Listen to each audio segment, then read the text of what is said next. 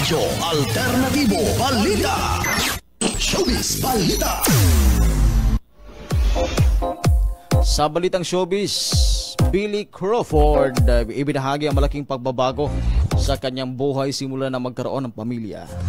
Detalye sa balitang showbiz. Good morning, Ate Len. Hi, good morning, GR, JR. Good morning to all. Happy Yes, weekend. ako. Happy weekend. Oo.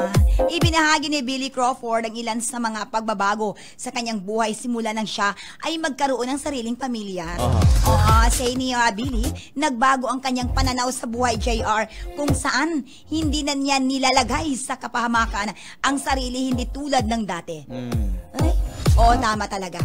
Aminado rin si Billy na tinalikuran niya ang pagbibisyo tulad ng pag-iinom ng alak. Oy. Wala. Paninigarilyo. Mahirap, At oo. pagbabarkada.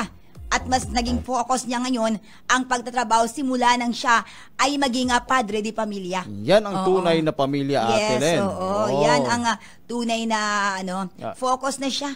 Yun. Iwanan lang lahat ng bisyo. Basta para sa pamilya. Iwanan ang bisyo lahat. Wag, la, wag mo lang iwanan si Dear Ate Len. Aba, oo. Kaya yan ang ating showbiz balita this you. weekend. And the Ate Len, ti amo, I love you. Thank you, Ate Len. Maraming salamat.